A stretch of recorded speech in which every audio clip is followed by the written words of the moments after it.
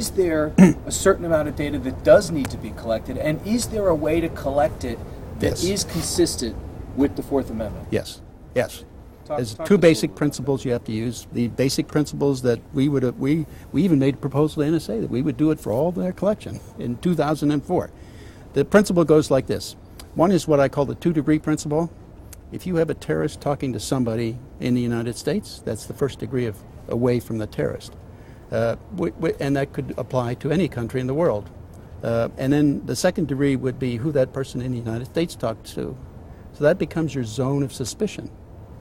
And the other one is you watch all the jihadi sites on the web and uh, who's visiting those jihadi sites, who has an interest in the philosophy being expressed there. And, that, and they, then you add those to your zone of suspicion. Everybody else is innocent. I mean, you know, of terrorism. Until anyway. they're somehow Yeah, connected until to you can show activity. that Right. there's a, so that then is your realm of collection. So you pull in all the content involving the zone of suspicion, and you throw all the rest of it away. But you can keep the attributes of all the communication communicants in the other part of the world, the rest of the seven billion people, right? And uh, you can in, then encrypt it, and so that nobody can interrogate that base randomly. That's a way of preventing this kind of uh, random access by a contractor or by the FBI or any other DHS or any other department of government. They couldn't go in and find anybody. They you couldn't target your next door neighbor because you, if you went in with his attributes, they're encrypted. You won't find them. That's right. Okay, so so unless they're in the zone of suspicion, you won't see any content on anybody, and you won't see any attributes in the clear. And this is all within our capability. It's all within our capabilities. And let me tell you, our- it's been within our capabilities for well over 12 years. Exactly, Right. and let me tell you, we um, Bill and I worked for a um, on a government contract for a contractor, not too far from here, and um, when we showed him the concept of how this privacy mechanism that Bill just described to you, the two degrees, the encryption and hiding of identities of innocent people, he said nobody cares about that. yeah. I said, What do you mean?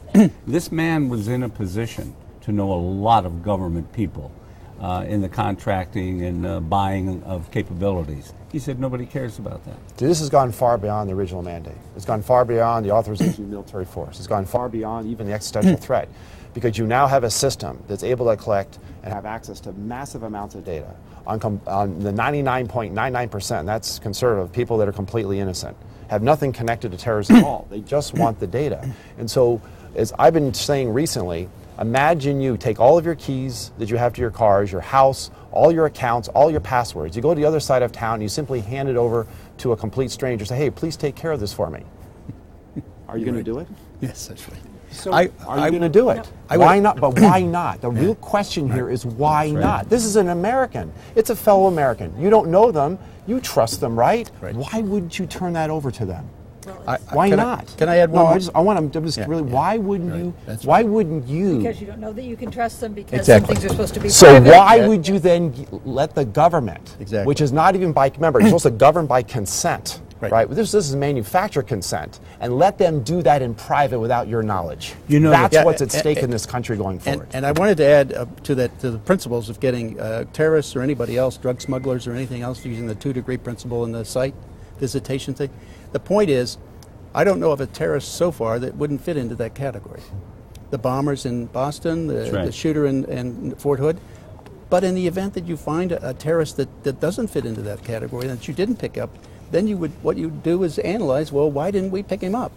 Okay, and then when you discovered why you didn't pick him up, you would add those rules as, as, as gaining knowledge that would make your system even better. If they'd started that 10, 12 years ago, like we wanted to do, they would have that knowledge now on everything. And, uh, you know, there wouldn't be any exceptions at all.